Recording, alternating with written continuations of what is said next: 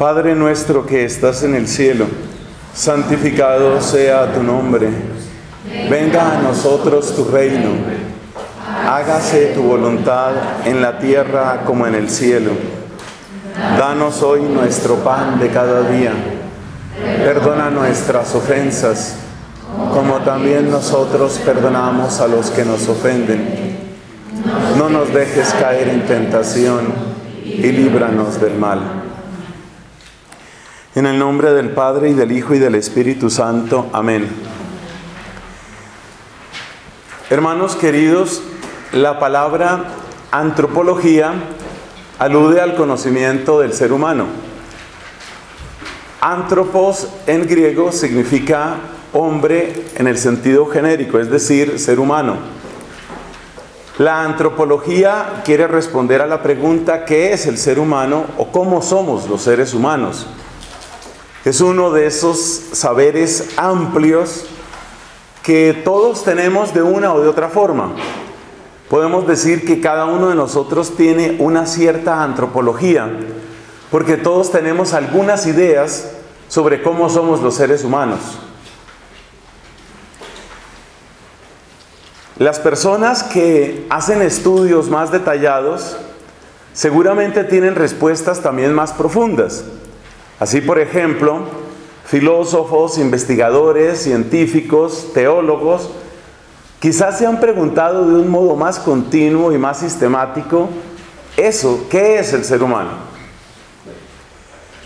Tenemos dentro de nuestra Iglesia Católica grandes maestros y maestras.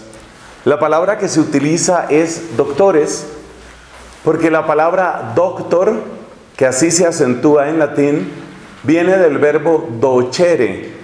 De docere viene también la docencia. Un doctor es el que docet, el que enseña. Y tenemos entonces doctores en la iglesia. De hecho, pues una frase común es esa, doctores tiene la Santa Madre Iglesia. Los doctores quiere decir en ese caso aquellos hombres, pero también mujeres, que iluminados por el Espíritu Santo han derramado mucha luz en esta tierra sobre la palabra de Dios, sobre la victoria sobre el pecado, sobre la búsqueda de la santidad, es decir, son personas que son maestros para todos nosotros.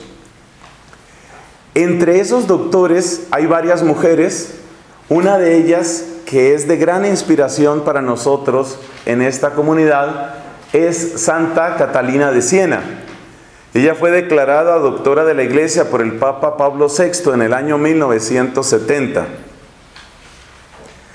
Yo tuve ocasión de conocer a Catalina, es decir, su vida y sus obras, en el año 1985.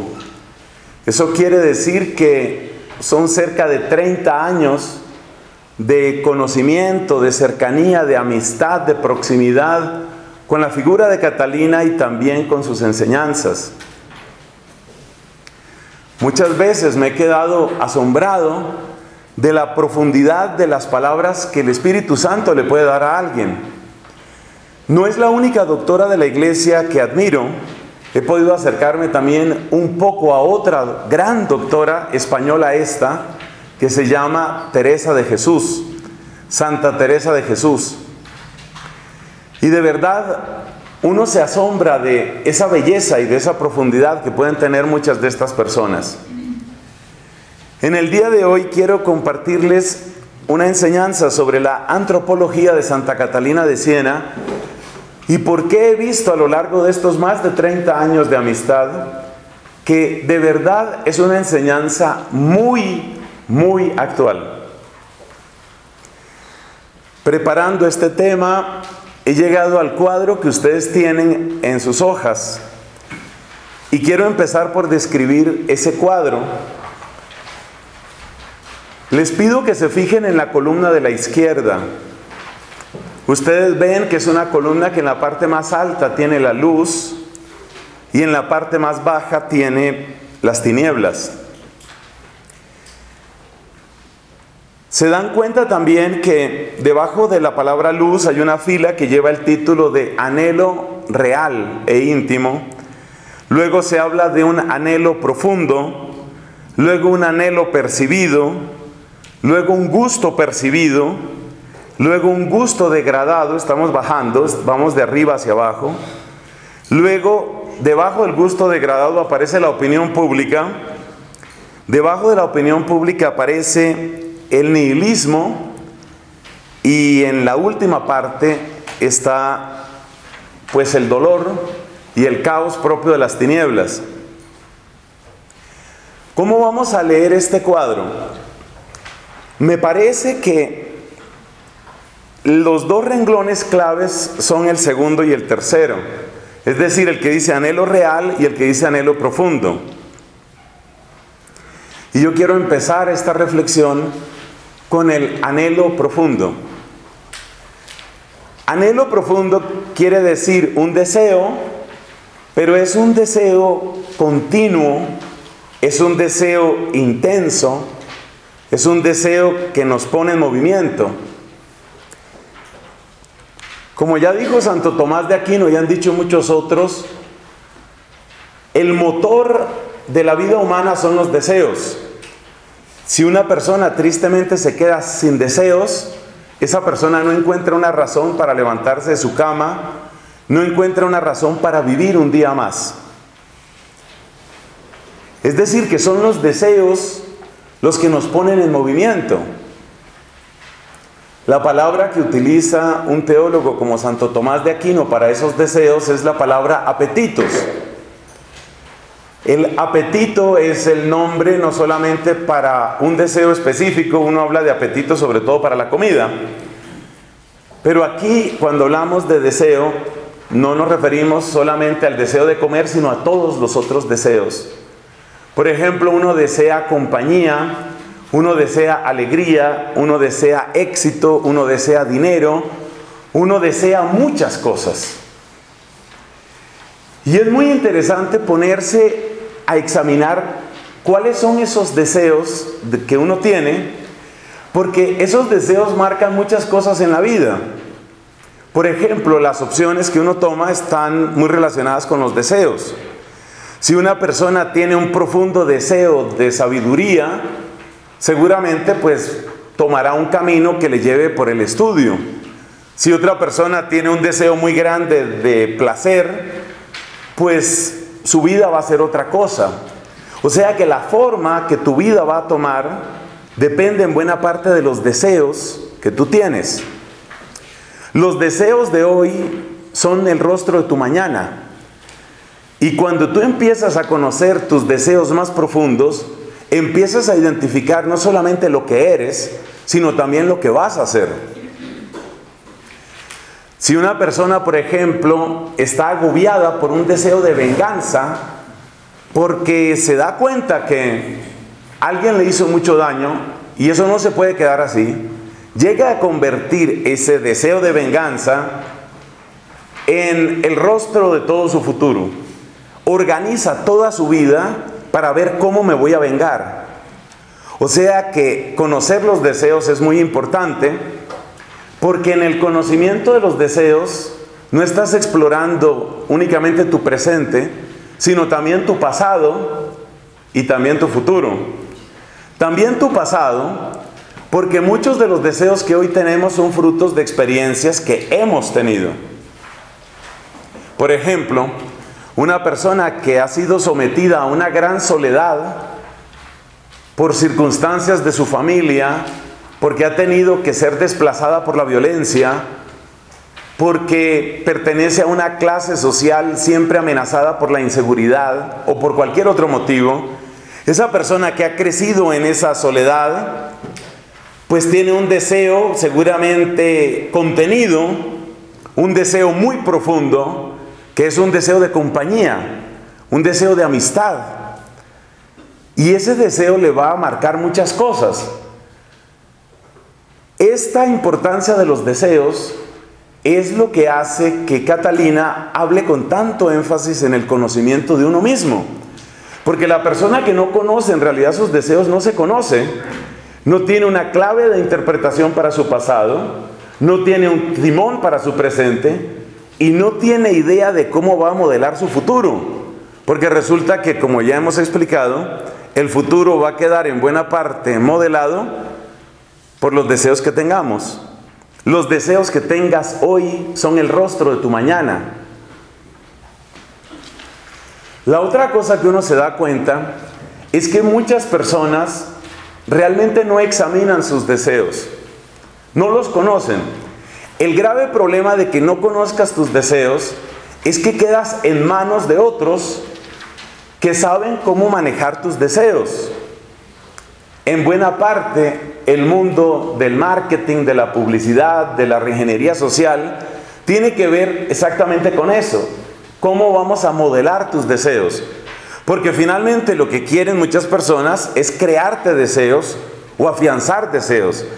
Si logramos que para ti lo más importante en la vida es tener unas buenas vacaciones en el Caribe, si no hay nada más importante en la vida que tener unas buenas vacaciones en el Caribe, tú pagarás mucho por esas vacaciones.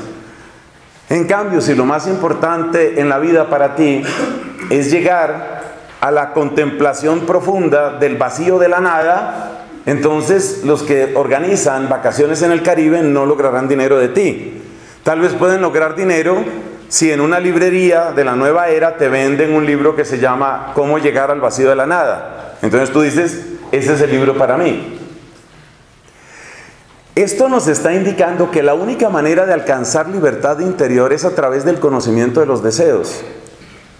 Porque una persona que desconoce sus propios deseos será siempre gobernada por otros y ni siquiera se dará cuenta de eso. Esto vale no únicamente para el mundo del comercio, esto vale también para el mundo de los afectos, para el mundo del amor. Hay una palabra que es la palabra seducción.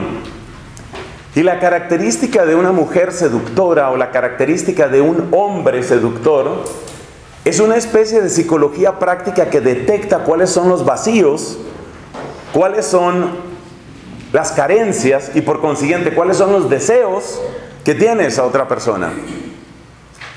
Así como un buen vendedor tiene que darse cuenta cuál es el talón de Aquiles del posible comprador, así también el seductor se da cuenta por dónde están los vacíos de esa persona a la que quiere enamorar.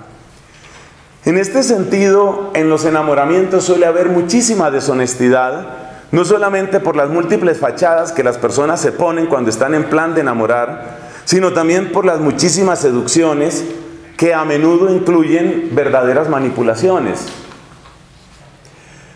Cuanto más se conoce una persona, cuanto más llega una persona a saber de sí misma, más libertad tiene. Una persona que sabe de sus propias carencias puede estar en una condición un poquito mejor para defenderse de las manipulaciones de un seductor.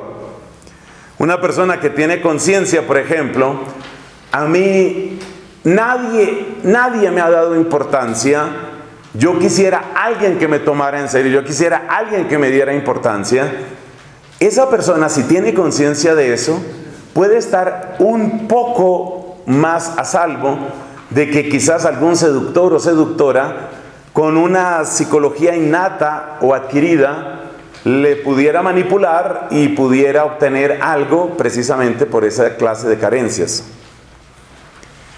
Esa es la importancia que tiene el deseo. Y por eso Catalina dice que es indispensable el conocimiento de sí mismo. No puedes tener libertad, no puedes llegar a ser tú no puedes alcanzar tu plenitud sin este conocimiento de sí mismo. Conocimiento de ti mismo, tendría que haber dicho. Entonces, en la exploración que hace Catalina, guiada por el Espíritu Santo y guiada por la predicación de la iglesia de su tiempo, esta analfabeta, porque ella no sabía escribir, no sabía leer ni escribir cuando el Señor le empezó a mostrar esto que estoy describiendo, esta analfabeta guiada por unas luces muy intensas del Espíritu Santo, empezó a darse cuenta cuáles eran los anhelos más profundos. Porque una característica que tienen los deseos es que son como escalonados. Es decir, hay deseos que para uno son importantes, pero si llega otro deseo que es más importante, pues yo sacrifico el anterior. Así, por ejemplo, una persona puede ser lo que llamamos popularmente muy friolenta, le fastidia el frío. Y resulta que se pone cita con su amiga, con su amada, en un cierto lugar y empieza ese ventarrón, el deseo de él sería irse de ahí y meterse en su casa debajo de sus cobijas para estar a gusto. Pero resulta que es más fuerte el deseo de esperar a la persona que le gusta y de estar con la persona que le gusta. Entonces, eso explica que los deseos van escalonados. Muchas personas tenemos dificultades algunos para trasnochar, otros para madrugar, y sin embargo a uno le toca contradecir esos gustos. Entonces a una persona a la que no le gusta madrugar, sin embargo sabe que si no hace tales o cuales diligencias temprano no las va a poder hacer. Entonces sacrifica un deseo a otro deseo. Eso explica o eso indica que todos tenemos jerarquías en los deseos. Y por eso la pregunta interesante es, si hay una jerarquía que sea lo suficientemente universal como para asegurar que todos los seres humanos en el fondo, en el fondo buscamos algunas cosas. Hay pistas que indican que sí hay deseos que todos tenemos. Los refranes populares dicen, por ejemplo, que una moneda de oro le cae bien a todos. Eso quiere decir que de alguna manera todos tenemos una puertecita abierta, hombre, no me cae mal. Un milloncito aquí, otro milloncito acá, hombre, se acepta, se acepta, eso llega bien. Eso está indicando que en cada uno de nosotros hay un, deseo de bienes materiales, porque el dinero finalmente lo que produce es eso. Aunque hay casos patológicos de gente que gusta del dinero simplemente por el dinero, es decir, los billetes o las monedas como tales, como objetos, esas patologías son completamente marginales. La mayor parte de los seres humanos quieren dinero porque quieren hacer algo con ese dinero. Entonces da la impresión de que todos efectivamente tenemos deseos de bienes, deseos de bienes materiales. Otra cosa que se nota es que todos tenemos deseos, por ejemplo, de claridad. Aún las personas que se llaman a sí mismas más anárquicas y que se ponen así ropa bien rebelde con calaveras y, ropa negra y, y cadenas y todo ese tipo de cosas, aún esas personas buscan claridad. Tuve ocasión hace unos años de realizar una pequeña misión en un país que quiero mucho y que ha sufrido mucho, ese se llama El Salvador. Uno de los problemas en El Salvador es el tema de las pandillas, conocidas en Centroamérica como maras. Y es interesante la psicología de grupo de las pandillas, porque la idea que uno puede tener al principio es que todos los que están en las pandillas son gente anárquica, o sea que ellos no creen en ningún tipo de orden. Etimológicamente, anarquía quiere decir exactamente eso, carecer de principios, carecer de criterios, carecer de orden. Siendo así las cosas, uno puede pensar que los anárquicos están especialmente en movimientos como las pandillas, pero resulta que las pandillas no son anárquicas, resulta que en la pandilla hay una claridad. Claridad, por ejemplo, en qué? En que hay un jefe, y lo que diga el jefe de la pandilla, eso se hace. O sea, es muy interesante porque si tú hablas con uno de esos muchachos llenos de tatuajes, rebeldes, capaces de blasfemar de lo más sagrado, con varios muertos a cuestas, tú dirías a esta persona no le importa nada, pero a esa persona sí le importa la claridad. Es muy interesante esto, muy interesante. Aún la persona que realiza los crímenes más horrendos no quiere que le mientan. No hay ningún criminal que sea feliz. Díganme mentiras, a ver, infórmenme mal. No, el criminal, el jefe de pandilla, el capo de la mafia, hay algo que quiere. Díganme la verdad. O sea, está metido en un negocio turbio, está dañando la sociedad y sin embargo sigue buscando la verdad. Otro ejemplo que uno se puede dar cuenta es que en las artes que utilizan los servicios de inteligencia y las fuerzas de seguridad para capturar a los criminales, siempre utilizan un hilo que es el del afecto. Porque la psicología ha demostrado que no importa qué tan cruel, desalmada, qué tan aparentemente despótica o bestial sea una persona, siempre tiene o un deseo muy vehemente de compañía o personas que le representan muchísimo. Es bien sabido, por ejemplo, que la única forma de vencer a Pablo Escobar fue exactamente esa. Este señor, que tenía una inteligencia muy por encima del promedio, muy mal usada, pero claramente tenía una inteligencia muy por encima del promedio, un señor que le declaró la guerra a todo un país, Pablo Escobar, ¿por qué pudo ser localizado? Porque en medio de su aislamiento él necesitaba escuchar la voz de, sobre todo la voz de los hijos. En otros casos han sido amantes que tienen estos criminales, en otro caso han sido el papá, han sido em, pesquisas basándose en la mamá. Es decir, da la impresión de que no importa cuán sórdido sea el mundo en el que una persona se mueve, todos terminamos queriendo a alguien y todos terminamos deseando la compañía de alguien. Es decir, parece que así como buscamos todos la verdad, y por eso ningún capo de la mafia quiere que le mientan. Así también todos buscamos alguna forma de amor. Ese amor, esa búsqueda de amor es algo tan universal que desde antiguo ha servido para pescar a mucha gente. El servicio de inteligencia del Reino Unido, que es famoso pues en todo el mundo, cuya parodia pues dio origen a las historias de James Bond, el Servicio de Inteligencia Británico, uno de los primeros eh, entrenamientos que hace a los espías es que sean capaces de resistir a toda forma de seducción. Leí una entrevista muy interesante con uno, uno de estos espías que estuvo durante años, tiempo todavía de la Guerra Fría, estuvo trabajando en Rusia, en aquella parte, en aquella época, la parte principal de la Unión Soviética, por supuesto. Y él contaba cómo el gobierno soviético hizo decenas de tentativas de enviarle mujeres hermosas, mujeres inteligentes, mujeres simpáticas, mujeres que le ayuden, enfermeras que lo apoyen, maestras, instructoras, o sea, probaron todo tipo de perfil femenino para lograr lo que han logrado algunas famosas espías, entre las cuales se cuenta una mujer llamada Mata Hairi o Heiri. Es decir, que hay la idea de que un espía puede caer, y muchísimos han caído precisamente por eso, porque necesitan amor. Este señor no solamente tenía que resistir tentaciones de las mujeres más hermosas, las más inteligentes, las más agradables, las más astutas, sino que también le mandaban muchachos porque no se sabía si él era homosexual o no lo era, entonces también eso lo intentaron.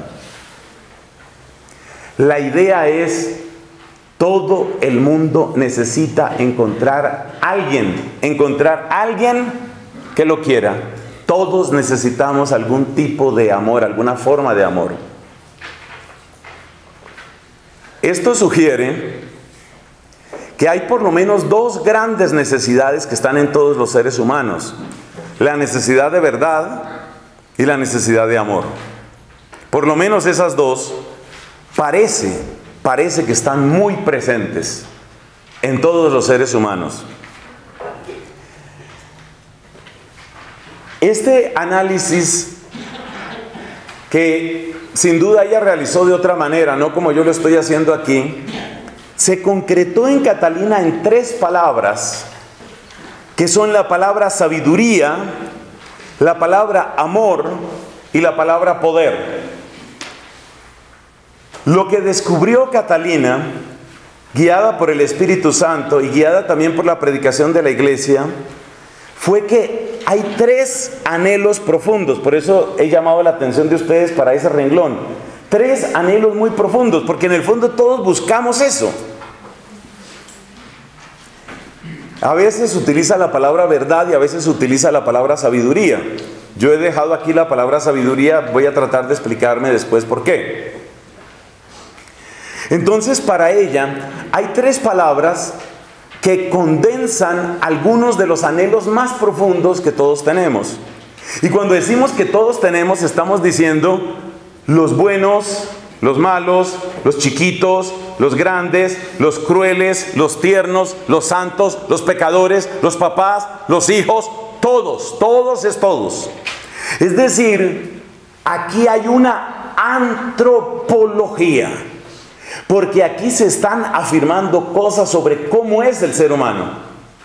Esto es tan universal que no escapa, por ejemplo, a esta clasificación el hecho de que una persona sea hombre o sea mujer.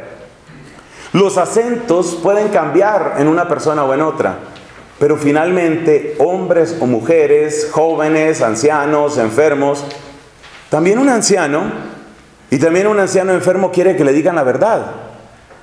¿Dónde habrá una persona que llegue donde el médico y le diga, doctor, yo sé que estoy mal, pero no me diga nada, dígame que todo es un resfriado, miéntame, doctor? Nadie va a decir eso. Hasta el último día queremos saber la verdad. Es algo muy profundo en nosotros. Y hasta el último día seguimos buscando alguna forma de amor. La otra palabra es un poco más difícil de descubrir, la palabra poder. Es interesante que ustedes, por favor, Encima de la palabra sabiduría, aunque no quedó suficiente espacio, la culpa es mía, porque ese formato lo hice yo. Encima de la palabra sabiduría les invito a que escriban la palabra inteligencia. Y encima de la palabra amor, les invito a que escriban la palabra voluntad. Y encima de la palabra poder, les invito a que escriban la palabra memoria. Es decir, en la estructura de nosotros los seres humanos, estamos hablando de antropología, en la estructura de nosotros seres humanos, tenemos inteligencia que busca la sabiduría, voluntad que busca el amor y memoria que busca el poder. Sigue siendo muy abstracto lo de la memoria y el poder. Trataré de explicarlo mejor como Dios me ayude. No tengo yo suficiente claridad y creo que no la hay porque he leído varias biografías de esta mujer. No tengo claridad de exactamente cómo surgió esta clasificación tripartita en el corazón y en la mente de nuestra doctora de la iglesia Catalina. No tengo claro eso. Pero hay una cosa que se debe destacar. Y es que esa misma clasificación, inteligencia, voluntad y memoria, la había hecho muchos siglos atrás. Muchos siglos quiere decir, a ver, Catalina es del siglo XIV y tendríamos que devolvernos a finales del siglo IV, o sea, casi mil años atrás, la había hecho San Agustín. San Agustín habla de inteligencia, memoria y voluntad. Y Catalina también. Luego, una posible hipótesis para el uso que Catalina hace de estas palabras es que ella supo de la enseñanza de San Agustín. ¿Cómo pudo saberlo? Pudo saberlo a través de la predicación de la iglesia. No había en la época de Catalina, no había ningún padre de la iglesia que fuera citado con más frecuencia o del cual se predicara más que de San Agustín. Entonces, los anhelos profundos son sabiduría, amor y poder. La sabiduría es lo que busca esa potencia que hay en ti que se llama inteligencia. A mí me encanta este lenguaje porque cuando a uno le hablan de potencia, le hablan de los motores que tiene adentro.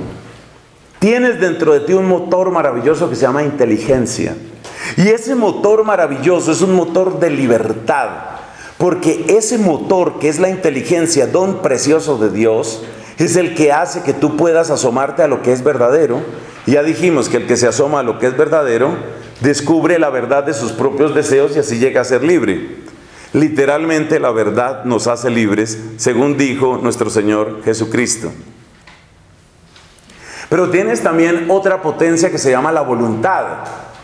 La capacidad de querer en el doble sentido que tiene el querer. Porque el querer tiene el sentido de amar, como cuando uno dice, amo a mi mamá, amo a mi esposa, amo a mis hijos. Ese es un sentido del querer. Pero también hay otro sentido del querer, que es el querer como quiero sacar adelante este proyecto, quiero lograr el grado, quiero ganarme mi primer millón. Ese es un querer también. Eso también es querer. Para Agustín y lo mismo que para Catalina, el querer de lo que podríamos llamar afecto y el querer que intenta producir un efecto están vinculados por el amor. Porque efectivamente yo no logro obtener lo que me propongo si no hay un amor. Se necesita un amor. Se necesita que haya un amor para alcanzar eso que digo que quiero. Entonces el querer es clave. El amor es clave. Y a través del amor es como nosotros logramos llegar a las metas que tenemos. ¿Por qué dice Agustín y por qué enseña Catalina que la memoria es una potencia? Hay que tener en cuenta que el esquema de San Agustín, que repito, ya tenía mil años en la época de Catalina, pues tenía cerca de 900 años en la época de Santo Tomás de Aquino. Pero Santo Tomás no sigue el esquema tripartito de San Agustín, sino que Santo Tomás enfatiza únicamente en inteligencia y voluntad. Bueno, ¿qué es lo que entiende San Agustín por esa potencia que llamamos la memoria? ¿Por qué la memoria es una potencia? La memoria es una potencia porque cuando tú recuerdas lo que eres, te preparas para ser.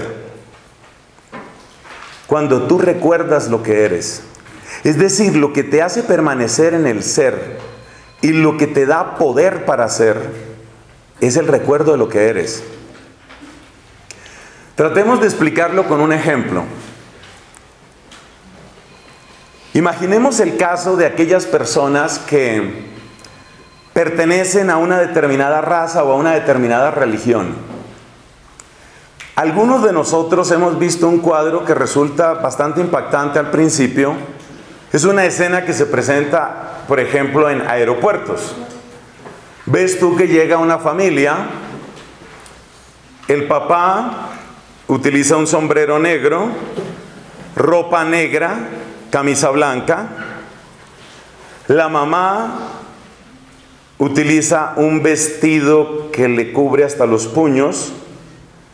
Las niñas, las hijas, van también muy cubiertas y los niños llevan todos lo que nosotros llamaríamos un solideo, pero que ellos llaman una kipa puesta en su cabeza, una especie de sombrerito redondito negrito.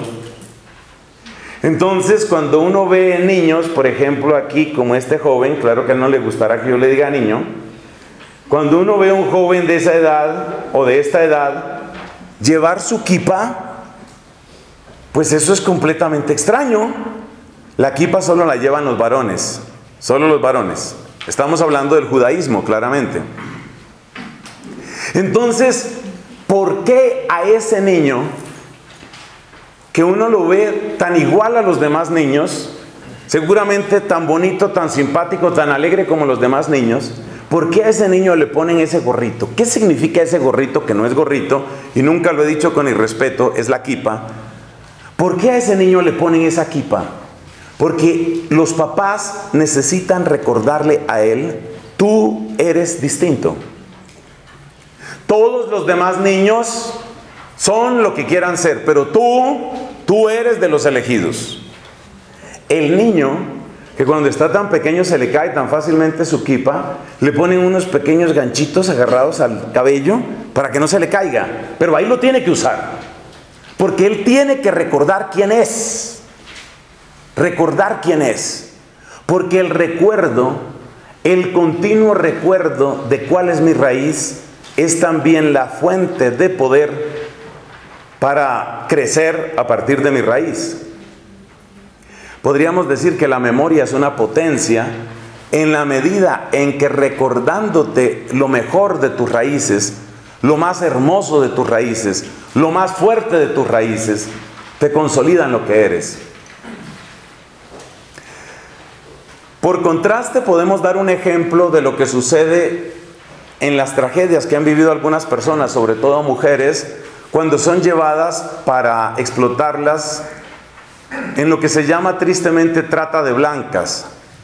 Lo primero que se suele hacer con estas mujeres, yo conocí un caso absolutamente dramático de una colombiana que fue prostituida a la fuerza en el Japón durante años, hasta que logró escaparse de un modo que no le envidia nada a una novela.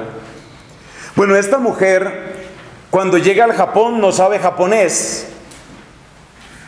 Cuando llega al Japón supuestamente para un trabajo que nunca existió, pues no sabe japonés. Las personas que le sirven de contacto lo primero que hacen es retenerle el pasaporte. Lo segundo, darle un hospedaje miserable y puerco, por el cual sin embargo le cobran muchísimo. De manera que usted ya debe el pasaje desde Colombia a Japón, ya tiene una deuda con nosotros, y además cada día debe muchísimo dinero más porque le estamos dando vivienda. La vivienda es un asco, pero le estamos cobrando muchísimo. Entonces, a base de no tener pasaporte, a base de no poder comunicarse con nadie, a base de no poder hablar el idioma, esta persona entra en un estado de perplejidad y de fragilidad emocional y psicológica. Eso es indispensable para prostituir a una persona. Es la misma razón por la que en los campos de concentración a la gente se le desnuda tantas veces, se le ponen ropas ridículas, se le pone a vivir en condiciones que le hagan olvidar quién es. Porque si a usted se le olvida de qué país viene, qué dignidad tiene, si a usted se le olvida quién es usted, entonces lo podemos convertir en un objeto, lo podemos convertir en una herramienta. Este análisis nos lleva a una conclusión forzosa. Si aquellas personas que quieren obligarlo a uno a olvidar lo que uno es, pretenden manipularlo, quiere decir que recordar lo que uno es es una fuerza, es un capital, o como diría San Agustín, es potencia, es una potencia. Cuando usted recuerda lo que es, entre otras cosas, esto explica la fuerza que tiene la predicación cristiana, especialmente en los jóvenes y muy particularmente en las mujeres. Como me lo habrán escuchado algunos de ustedes ya muchas veces, cuando una mujer sabe lo que vale, ya no es una mujer fácil. Ya no es fácil de manipular, ya no es fácil de seducir, ya no es fácil de manosear.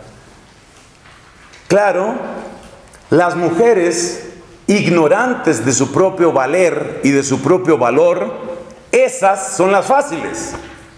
Una mujer que no sabe lo que vale ser mujer, una mujer que no sabe lo que significa ser hija de Dios, una mujer que no sabe que es templo del Espíritu Santo, tampoco sabe lo que está entregando cuando se entrega a cualquiera. Por eso, las fuerzas del pecado siempre requieren de nuestro olvido. El pecado siempre requiere que a uno se le olvide quién es uno. Para contrarrestar esto, las grandes religiones siempre han apelado a la memoria. Así, por ejemplo, en el judaísmo, para seguir con esa narración, estaba mandado que varias veces al día los miembros del pueblo de Dios tenían que decir ciertas oraciones. Muy concretamente, una que empieza con la palabra Shema. Shema Israel, que significa escucha Israel. Así como la kipa que utilizan los varones es un recordatorio físico que alienta la memoria para decir yo no soy como los demás, así también las oraciones repetidas muchas veces le están diciendo a la persona, yo tengo un valor porque yo soy del pueblo elegido. Escucha Israel, el Señor nuestro Dios es solamente uno. Amarás al Señor tu Dios con todo tu corazón. Escucha Israel, yo soy el pueblo al que Dios habló. Yo soy el pueblo al que Dios habló. Tres veces al día, estos recuerdan, yo soy el pueblo al que Dios le habló. Yo soy el pueblo, no es yo soy del pueblo, es más que eso. porque lo que repite la persona no es escucha miembro del pueblo de Israel, es escucha Israel. Cada vez que el judío dice su plegaria, se siente Israel. Yo soy Israel. Yo, yo soy Israel. Yo soy el pueblo al que Dios habló. El Dios de cielos y tierra le ha hablado a mi pueblo, me ha hablado a mí. Yo soy ese pueblo. Bueno, yo creo que con este sencillo análisis tú te das cuenta del poder que tiene la memoria. Y también te das cuenta de la importancia de lograr el olvido. Por eso los lugares de corrupción siempre necesitan mucho ruido, siempre necesitan mucha música y siempre necesitan mucha alteración de los sentidos.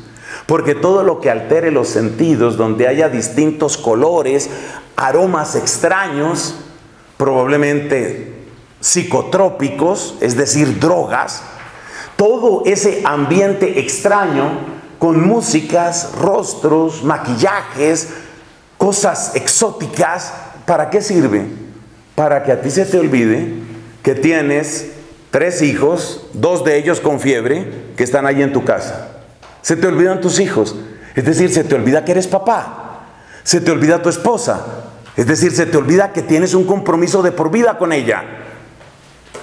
Los lugares de corrupción siempre necesitan alteración de los sentidos y siempre necesitan mucho ruido, mucha música, porque esa música intenta generar un estado de amnesia, por lo menos temporal, que produzca en ti el olvido de quién eres. Cuando ya se te olvida quién eres, entonces ya eres manipulable. Entonces ya eres un objeto. Yo me acuerdo que había una canción, no me pregunten la música, una canción de tiempos antiguos, debe ser del siglo pasado, no sé, por ejemplo, si mi sobrina había nacido en ese momento. Yo me acuerdo que había una canción, tampoco me acuerdo quién la cantaba, o sea, estoy mal, realmente estoy hablando de la memoria, pero con mala memoria. Resulta que había una canción que decía, te pido que te olvides quiénes somos y hasta a quién amamos. Me acuerdo que esa frase me llamó siempre la atención y yo sufría cada vez que mi papá ponía esa canción. Te pido que te olvides, ahora no me acuerdo quién cantaba eso y no me interrumpan por favor para decir quién lo cantaba, pero yo me acuerdo que había una canción que decía eso, te pido que olvides quiénes somos y hasta quién amamos. ¿Eso qué significa? que se te olvide que eres una esposa respetable, que tiene unos hijos a los que amas, que se te olviden tus hijos, que se te olvide tu esposo. ¿Por qué? Porque necesito que olvidada de todo, olvidada de todo, quede simplemente en mis manos. Ahí se da cuenta uno del genio de San Agustín. Realmente San Agustín, además de ser un gran santo, era un gran genio. La memoria es una potencia y perder la memoria es reducirse a la condición de objeto. Si yo fuera ustedes y me invitaran a una conferencia de estas, yo escribiría esa frase. Perder la memoria es reducirse a la condición de objeto. El que pierde la memoria, el que no sabe de qué familia viene, a qué fe pertenece, qué ha hecho Dios con usted. Cuando el apóstol San Pablo estaba próximo a despedirse, despedirse de su discípulo, uno de sus discípulos más queridos, Timoteo, le dijo estas palabras, acuérdate, acuérdate, acuérdate de Jesucristo, acuérdate de Jesucristo. En sus larguísimas caminatas por el corazón de Europa, el fundador de mi comunidad, Domingo de Guzmán, utilizaba una estrategia parecida. Resulta que los frailes, que eran jóvenes, inmaduros, no tan inmaduros como esta gente que está aquí, pero eran inmaduros ciertamente, ese grupo de frailes inmaduros, lo subrayo, claro, después de un, ¿qué hace uno en una caminata? Porque esas sí eran caminatas. Esa gente no tenía que ir al gimnasio. ¿Por qué? Porque las caminatas eran brutales. Entonces, en una caminata que podía ser de cuatro horas, para tomar algún alimento y bebida y arrancar otras tres o cuatro horas, llega el momento en el que el camino se vuelve tedioso. Entonces la gente empieza a bajar el nivel de la conversación. Se empieza hablando de temas espirituales, luego se empieza a recordar anécdotas, luego vienen los chistes, luego vienen los empujones, luego usted qué le pasa, Fácilmente se puede caer en la vulgaridad. ¿Qué hace Santo Domingo frente a eso? Los llama al recuerdo. Mire, hagamos una cosa, paremos aquí, dice Domingo, paremos aquí y recordemos, pensemos en nuestro Salvador. Es algo así como toca base, vuelve a base, vuelve a tu base. Ese es el poder de la memoria. Bueno, la amiga Catalina, guiada por el Espíritu Santo, porque yo no dudo de esa fuerza del Espíritu en ella, y guiada por la predicación de la iglesia que le dio muchos elementos de la teología de San Agustín, Catalina se da cuenta de que hay esas tres grandes potencias en el ser humano.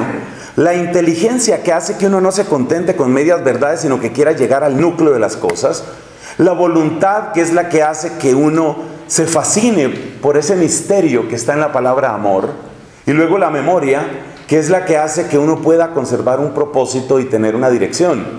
¿Te imaginas qué le pasaría a un barco? Un barco que cuando despunta la mañana el día sábado, oye, ¿nosotros a dónde era que íbamos? Que vamos para tal parte, bueno, ahí enderezan el ruta. El domingo, ¿dónde es que tenemos que ir? Ese barco no va a llegar muy lejos. Ese barco va a terminar dando círculos, perdiéndose y agotando recursos. Eso es lo que le sucede a mucha gente. Como no saben de dónde vienen, como no saben qué amor les ha creado, como no saben, como no tienen memoria fresca, reciente de tantos prodigios que Dios ha hecho por ellos, como no los recuerdan, los desprecian. Entonces las tres potencias son inteligencia, voluntad y memoria. Y Catalina llega a esta conclusión, bendita sea su memoria, la de ella, que nuestra sabiduría finalmente lo que está buscando es al Hijo de Dios. Porque el Hijo de Dios, que es la sabiduría misma del Padre, que es la verdad de Dios, es el que se ha manifestado en nuestra carne y es el que nos ha mostrado quién es Dios en la cruz. Es el que nos ha mostrado qué es misericordia en la cruz.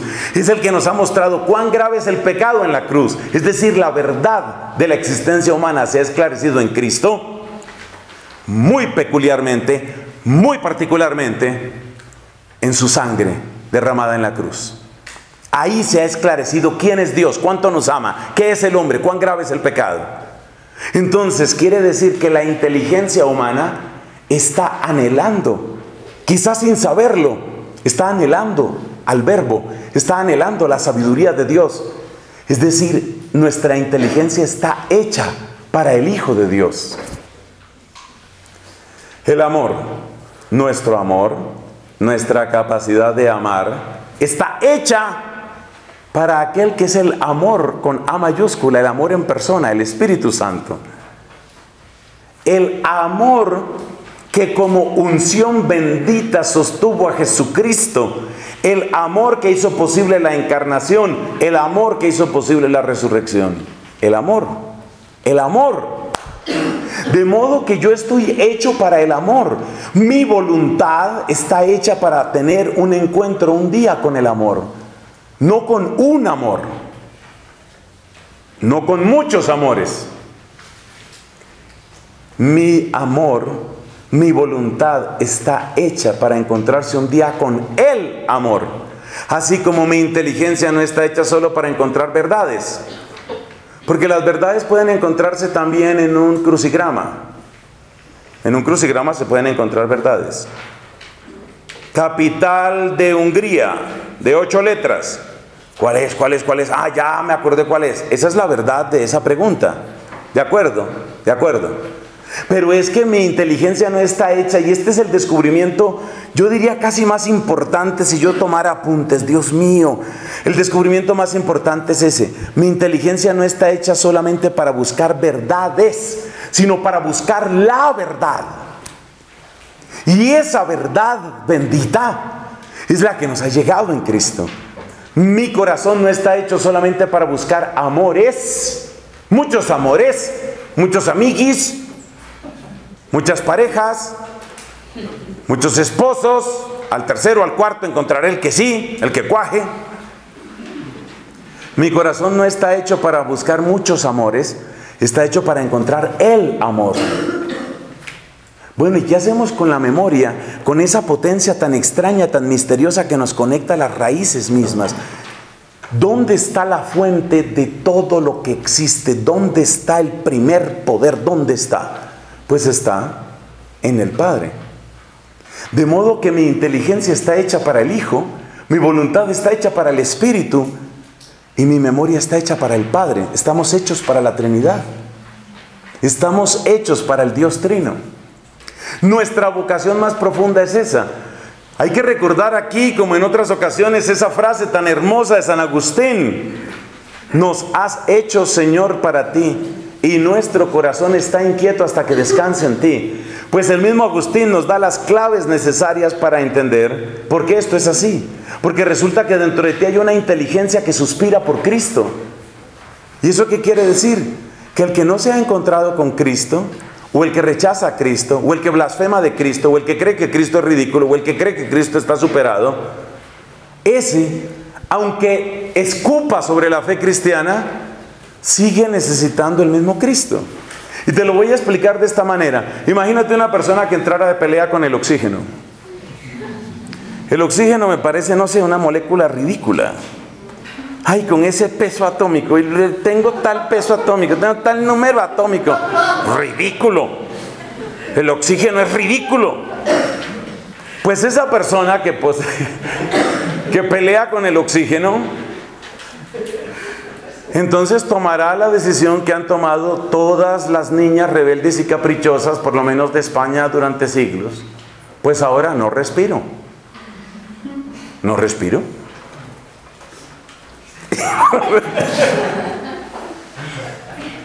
En esas peleas, casi siempre, casi siempre gana el oxígeno, casi siempre. Eso es exactamente lo mismo que pasa con Cristo. Satánicos, ateos, agnósticos, matacuras, masones, pueden ponerse en esa actitud de que yo no necesito de Cristo, Cristo es lo más ridículo del mundo, pero Cristo sigue siendo el oxígeno. Resulta que el metabolismo que tú tienes está hecho para el oxígeno. Necesitas oxígeno. ¿Qué oxígeno? Ni que ocho cuartos. ¿Para qué? ¿Por qué, ¿Por qué tiene que ser oxígeno? Oxígeno. No, señor.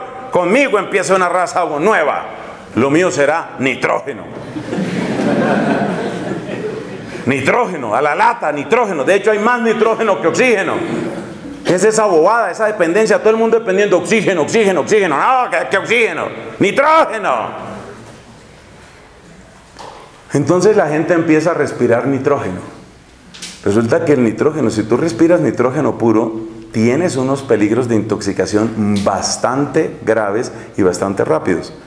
El respirar nitrógeno puro, entiendo yo que en cosa de segundos o de minutos te puede matar. Estamos hechos para Cristo, como estamos hechos para el oxígeno. No te sirve blasfemar, no te sirve, no te sirven tus sacrilegios. Vivimos en tiempos tan tristes que están sucediendo sacrilegios en muchas partes, incendios de iglesias, profanación de hostias. Pues a los profanadores hay que decirles, tu profanación del oxígeno no cambia tu necesidad del oxígeno. No cambia. En los 24 años de vida sacerdotal que Dios me ha permitido tener, yo ya tuve el caso de una persona que había cometido una profanación eucarística y tuve que acompañar a esa persona en el proceso de solicitar el perdón del Papa, porque ese tipo de pecado solo puede ser perdonado por el Papa. De modo que después de muchos años de cometer esa profanación eucarística, esta persona por fin recibió la absolución. Yo no sé si cuando recibió esta absolución esta persona lloraba más o lloraba más yo, porque es impresionante ver que hay un Dios tan, pero tan compasivo, pero tan compasivo, tanto. Es que es demasiado amoroso. Ese es Dios. Entonces no te sirve profanar la Eucaristía profanar la Eucaristía, cometer sacrilegios, decir blasfemias, maldecir de todo, invocar al infierno, decir que Satanás es el que va a vencer, hacer gestos raros con las manos en los conciertos de rock y las niñas católicas estúpidas. No he debido decir estúpidas, hombre. Es palabra demasiado suave. Bueno, Entonces, estas niñas tontas se ponen a hacer gestos con sus manos, gestos que yo no repetiré. Se ponen a hacer gestos con sus manos porque todo el mundo los hace. Manada de tontas. Y resulta que todos los gestos que tú hagas con tus manos, todas las tonterías y blasfemias que digas, todos los sacrilegios que cometas, no quitan que tú estás hecho para Cristo. No quitan que tú estás hecho para el Espíritu Santo. No quitan que tú estás hecho para Dios Padre. Pero es que mi relación con mi papá es pésima. Mira, tu papá no es el que define a Dios. Sana tu relación con Dios y se sana tu relación con tu papá. Es Dios el que tiene que ir primero. Es Dios. Y cuando se sana tu relación con Dios, entonces se sana tu relación con la verdad, se sana tu relación con el amor, se sana tu relación con tu papá, se sana tu relación.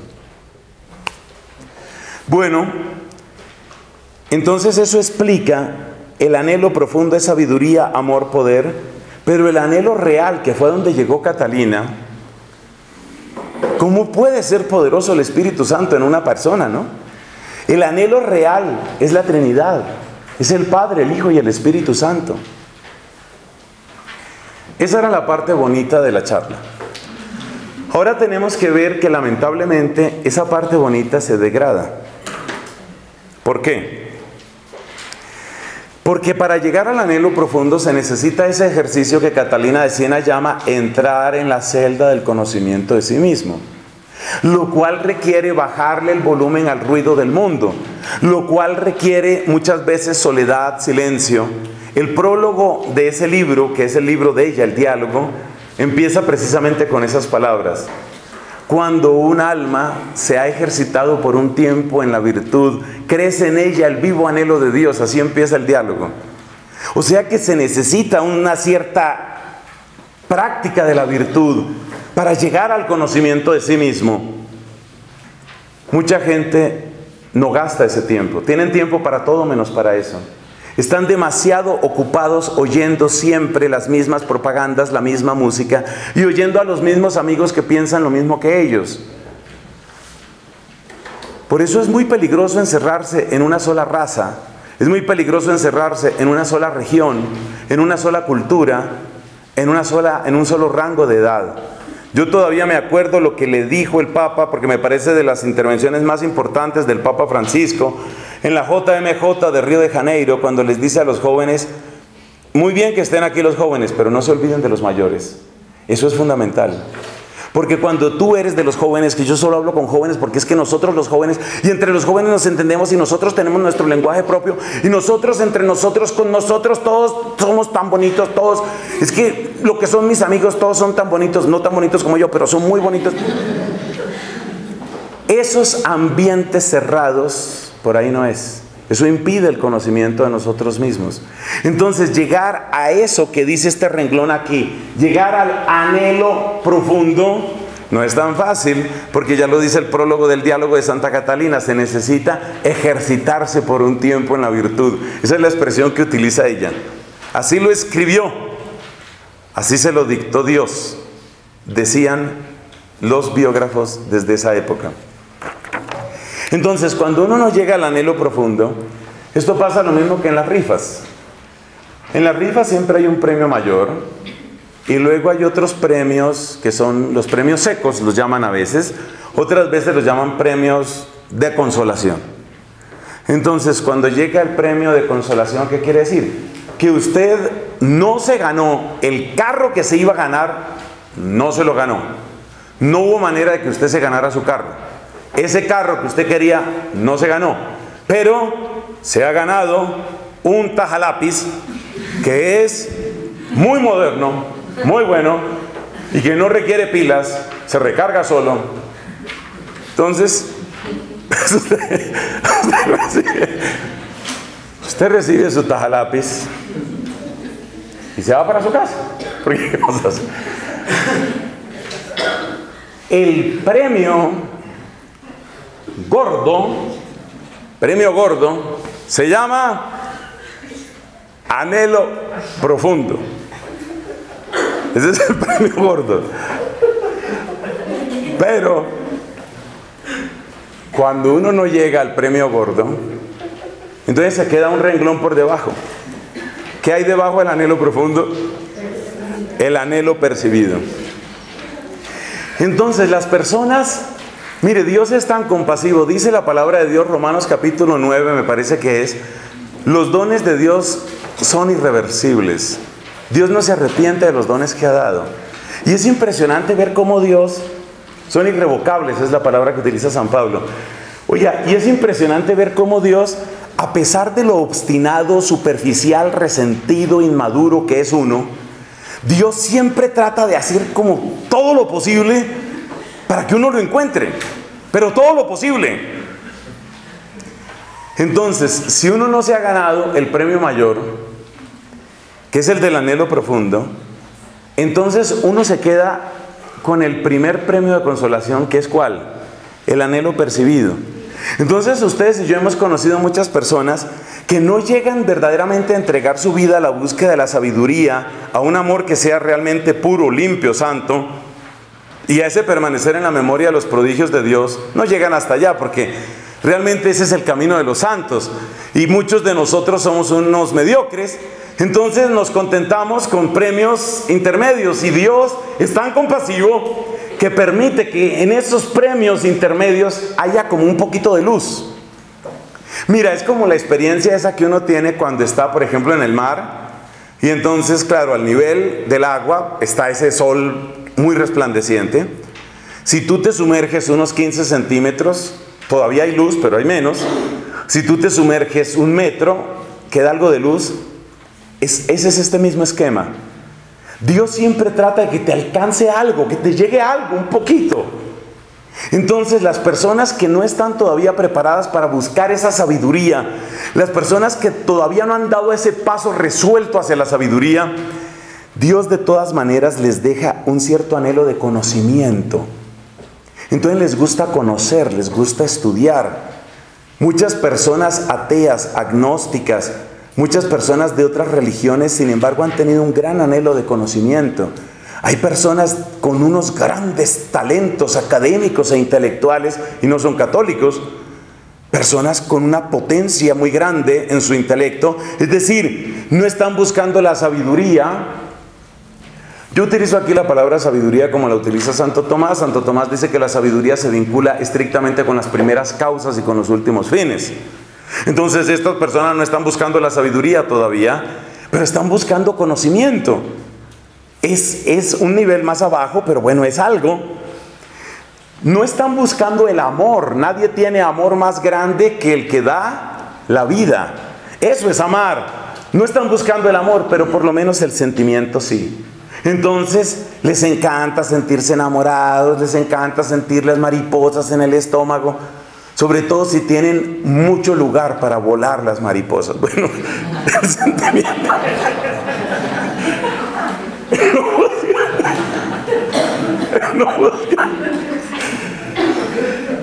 Entonces, no, no buscan sabiduría. Perdón, no buscan sabiduría, pero por lo menos buscan conocimiento.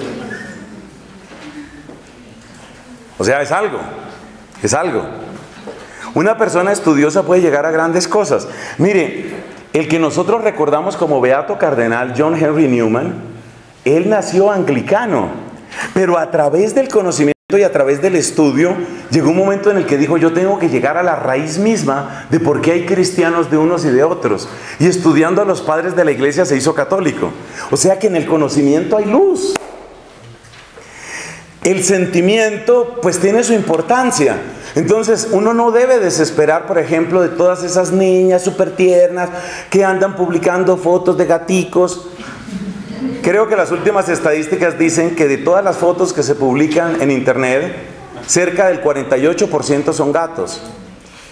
Entonces, realmente no sé qué pueda decir eso sobre la humanidad, pero así estamos. Así estamos. 48% de las fotos, o sea, comparando fotos de seres humanos y de gatos, ya casi nos ganan los gatos. Entonces no sé qué vamos a hacer. Me imagino que habrá que comprar gato o alguna cosa. Entonces, mire, Pero resulta que es mejor una niña que tenga sentimientos tiernos. O sea, eso todavía no es la perfección del amor, esa todavía no es la vida cristiana, pero bueno, por lo menos tiene sentimientos nobles. No ha llegado todavía a descubrir el poder de Dios, pero es una persona que busca resultados, busca ser eficiente. Está un renglón abajo. Todavía ahí se salva mucho. Pero cuando empezamos a bajar de ahí, ya nos despedimos de los anhelos, ya lo que quedan son los gustos. De la línea de los gustos para abajo, prácticamente todo es subjetivismo, prácticamente todo es relativismo. Entonces ya lo que importa no es el anhelo, sino el gusto percibido. Ya no me interesa el conocimiento, me interesa simplemente la información. Los que son profesores aquí habrán sufrido como he sufrido yo, cuando ustedes tienen estudiantes que son los estudiantes wiki. Todo lo resuelven con la Wikipedia. No sienten que tengan que estudiar nada. Como dijo el Papa Inocencio III, a ver, usted, digamos, un niño cualquiera, Juliancito. A ver, Julián, ¿usted sabe quién es Inocencio III? No, profesora, pero la Wikipedia lo sabe. Entonces ya nos volvimos qué? Información. La información es menos que el conocimiento, porque la información ya son datos que ya no están estructurados. Yo quiero advertir a los jóvenes, que gracias a Dios hay en buen número hoy, quiero advertirlos que la información no es conocimiento. ¿Por qué? Porque la información, las toneladas de información no crean estructura dentro de tu mente. Y es la estructura la que hace posible que tú formules preguntas. Es la estructura la que hace posible que tú cuestiones. La acumulación de datos, es decir, las toneladas de información, no son suficientes. Porque las toneladas de información no te hacen capaz de cuestionar. Y el que no es capaz de cuestionar no es capaz de aprender, no es capaz de avanzar, no es capaz de producir un cambio. Por eso la generación de la Wikipedia tiene que tener mucho cuidado porque puede quedarse sin la verdad. Entonces fíjate, ya del y empezamos en la sabiduría, de la sabiduría bajamos al simple conocimiento, del conocimiento ya vamos en la información. Empezamos con el amor, del amor ya bajamos al sentimiento y del sentimiento ya ahora en qué nos quedamos? En las emociones. En las emociones. Causa principal de los rompimientos de noviazgo, no sé, es que ya no siento nada. Imagínate eso. Ya no siento nada. Entonces, como no siento nada, entonces se acabó el noviazgo. Tiempo que duró el noviazgo. El noviazgo duró nueve días y medio. ¿En qué momento usted dejó de sentir al despertarme el décimo día? Sentí realmente no siento nada, esto no tiene ningún sentido. Entonces contraté un servicio que le manda un mensaje de texto al que era mi novio y le dice, usted se acuerda que tenía, que solía tener, que hubo en su vida una persona, bueno, pues ya, no más, no más. No más, no va más. ¿Por qué? Porque la gente está gobernada simplemente por la emoción. Entonces el día que me siento solidario, me comprometo, sí hay que cambiar la historia de la mendicidad en Bogotá. Otro día, ah, eso que cuento, eso apesta mucho a esa gente. Entonces, el que está guiado únicamente por la emoción no puede construir nada. ¿Por qué? Porque el día que se sienta triste, no, hoy, hoy estoy en modo triste. La gente como los aparatos y como los Xbox y todas esas cosas tiene modo. Hoy estoy en modo triste. Y para esto que las redes sociales propician eso. Me siento, hay uno que dice así, ¿no? Me siento aburrido, me siento contento, me siento, me siento derecho, me siento torcido. Bueno, ya se bajó, cuando uno llega a los gustos, ya se bajó de la eficiencia que es un ideal comunitario y constructivo, ya se bajó al momento. Ya es la simple experiencia. Mira, nos encontramos con unos amigos, pero unos locos. Es que esos tipos, esos tipos tienen que ser locos. Es que, no, tú te imaginas, es que... Y después de eso, ¿qué pasó? No, ya acabó, ya, ya acabó todo. ¿Y qué sigue? Pues no sé, vamos a ver qué surge la otra semana. Entonces la otra semana estaba con un, pero mire, es que eso sí, no, no, uy, no, uy, no saben ni expresarse, no dicen nada. Eso es más o menos como Leonardo DiCaprio en la película esa, que le valió el Oscar. Con el respeto, yo sé que hay gente que quiere mucho a Leonardo DiCaprio, que tiene una foto en la mesita de noche de Leonardo DiCaprio.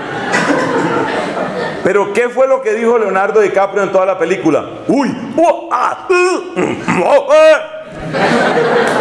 Ese fue el guion de. Entonces hay mucho joven de los inmaduros, no de ustedes, sino de los inmaduros, que realmente son así. Oiga, y la reunión que, mire, mejor dicho, como le dijera, oh my God. Ya desde que sueltan el primer oh my God, yo digo, no sabe nada, no sabe ortografía, no sabe, no sabe gramática, no sabe cómo se llama, no sabe cuál es su cédula. Lo único que sabe es que el papá tiene plata, lo único que sabe. El resto no sabe nada más. En Estados Unidos sí que tienen chistes de ese tipo de juventud. Que todo es like. It was like, sort of, like, oh my God. It was, I, cannot say it. It was, my, wow, my goodness. Oiga, y no he empezado a hablar. Señorita, tómese un poquito de agua. Respire. A ver, empecemos otra vez. Diga una frase con sujeto, verbo. Sujeto, verbo, predicado. Luego, la semana entrante hablaremos de circunstancias. Sí, pero por ahora, por ejemplo, el gato comió el pan. ¿Sí? Gato comió pan. Eso se llama frase. My God.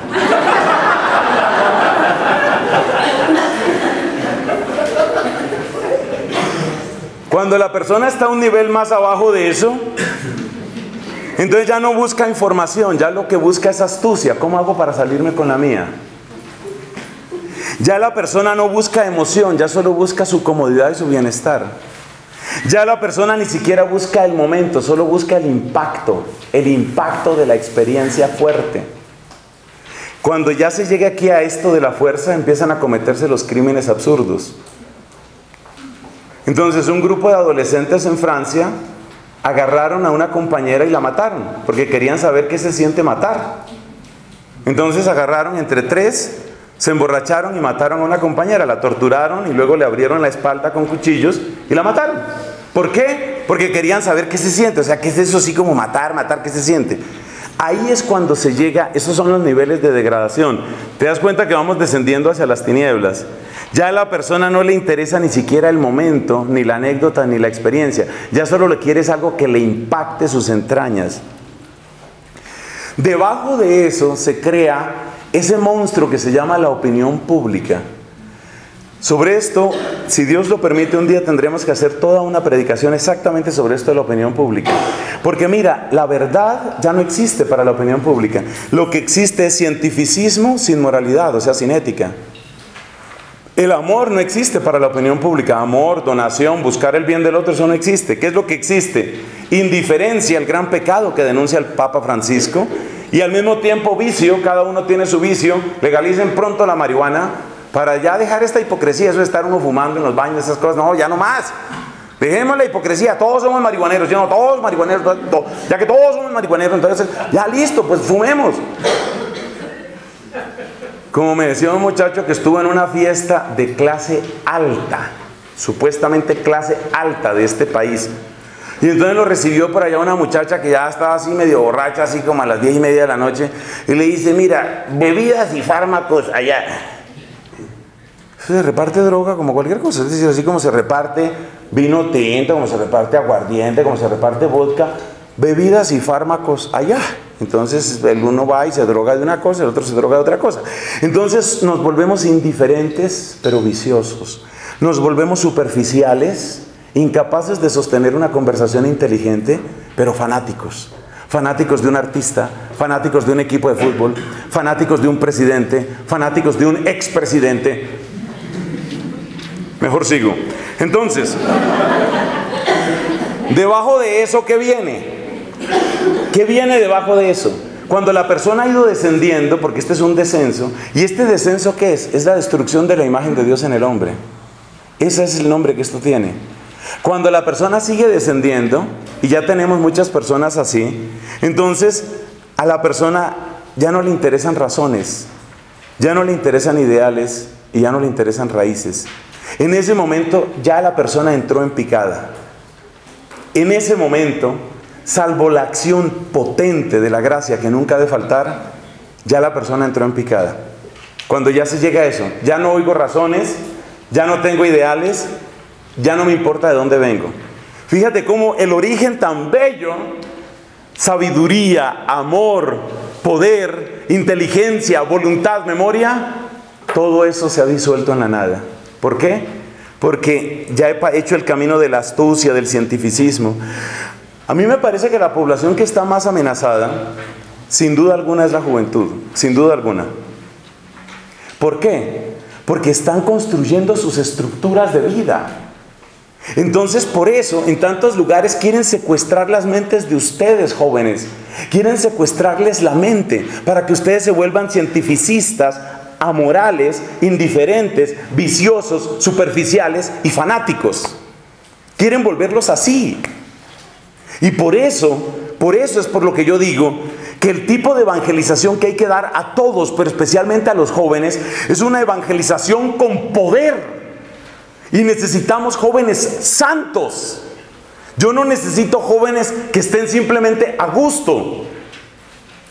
Hoy vi, por ejemplo, en Facebook alguien que decía, ¿por qué nos extrañamos de que los jóvenes se vuelvan ateos y lo único que han aprendido en los grupos juveniles es a bailar el granito de mostaza? Claro, resulta que esa puede ser una pastoral superficial. Y yo que vengo de la renovación carismática, sé que en muchos grupos de oración las cosas se reducen simplemente a eso. Es decir, es la emoción, es el aplaudir, es el sentirse bien, todos estamos a gusto con todos. Eso no es suficiente. Para la guerra están peleando por tu cabeza. Están peleando por tu cerebro. O sea, hay gente en este momento que está pensando, yo cómo me voy a adueñar del cerebro de esta generación. Entonces, si la batalla es de ese tamaño, ¿cómo tienen que prepararse los jóvenes? No pueden prepararse simplemente en el nivel, es que este, por eso les dije que este cuadrito me interesaba tanto. Puesto que la pelea es de este tamaño, tú no puedes responder a estos desafíos si tú estás simplemente en el nivel de información, emoción y momento. Y resulta que mucha pastoral funciona así. Información, emoción y momento. Y las redes sociales, yo no tengo nada contra las redes sociales, pueden prestar un servicio, pero la manera como la gente utiliza las redes sociales es así, información, emoción y momento. Entonces nos tomamos las fotos respectivas y ya quedó esa experiencia y de ahí en adelante, oh my God, oh my God. It, was sort of like, I, don't know.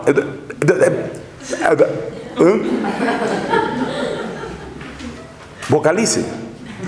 Existe una cosa que se llama sujeto. Sujeto. Sujeto. ¿Y, qué más existe? Predicado. Oh, predicado. Entonces, la gravedad del tema es que esto va así, hacia abajo. ¿Y qué es lo que está abajo? Lo que está abajo es que cuando ya te quedas sin razones, eres un elemento dócil del rebaño del mundo. Ya te pueden llevar a cualquier parte. Entonces te dicen, mira, ahora se vale marihuanarse. Perfecto, se vale marihuanarse. Ahora el matrimonio puede ser con persona, hombre, mujer, animal o cosa. Perfecto, matrimonio con persona, animal o cosa, lo que sea. Ahora se puede abortar. La cantidad de estupideces que se dicen en la campaña política. Un niño viable en el vientre de la mamá con ocho meses de embarazo, ocho meses, tres semanas de embarazo, un niño viable, según Hillary Clinton, no tiene ningún derecho constitucional, ninguno.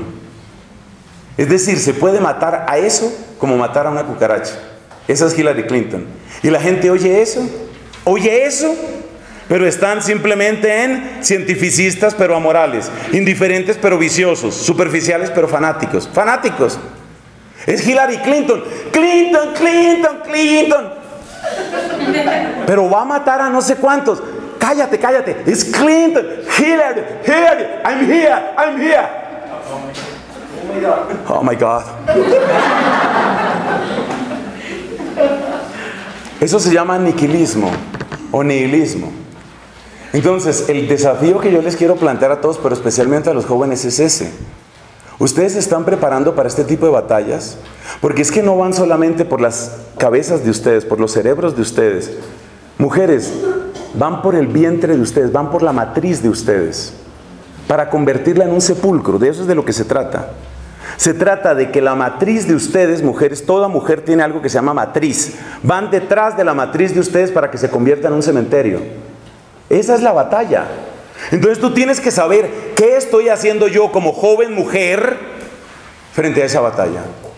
¿Qué estoy haciendo si mi amiga que se sienta al lado en mi aula en la universidad, por ejemplo, si mi amiga va a hacer eso, ¿quién soy yo? Estoy dentro de esto indiferentes pero viciosos. Mientras esté buena la fiesta de la semana entrante, pues fue su decisión. It was her choice, her choice. No, ese es el nihilismo. Entonces, por eso, en el fondo de esta cloaca, porque se llega a una cloaca, lo que hay es mundo. ¿Por qué mundo? Porque es lo que el mundo diga.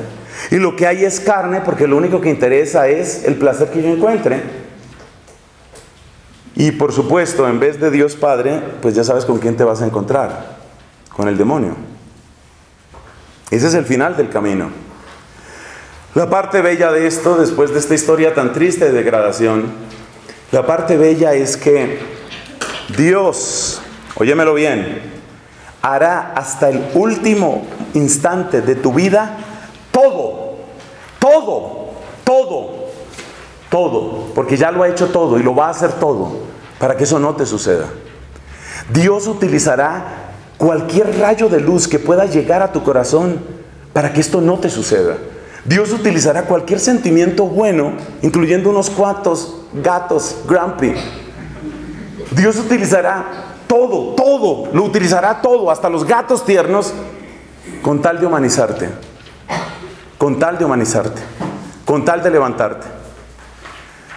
Y por este camino, que es el camino que Dios le reveló a Santa Catalina, y por este camino, la persona puede un día hacerse la gran pregunta, la gran pregunta es, ¿qué estoy haciendo con mi vida? Esa es la pregunta. ¿Yo qué estoy haciendo con mi vida? ¿De verdad para qué es mi vida? ¿Para qué es?